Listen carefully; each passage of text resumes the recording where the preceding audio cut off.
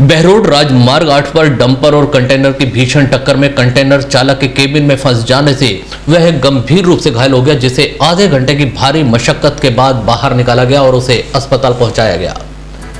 राष्ट्रीय राजमार्ग आठ पर यह हादसा सामने आया जब रोडियो से भरे डंपर में पीछे से कंटेनर ने टक्कर मार दी, जिसमें चालक कश्मीर सिंह निवासी सतारगंज, उत्तराखंड कंटेनर के केबिन में फंस जाने से गंभीर रूप से घायल होने की जानकारी मिली। इस दौरान हाईवे पर यातायात जाम हो गया।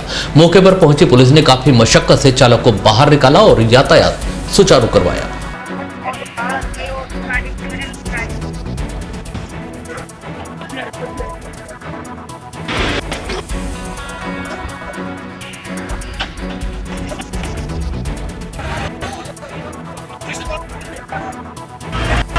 Hey!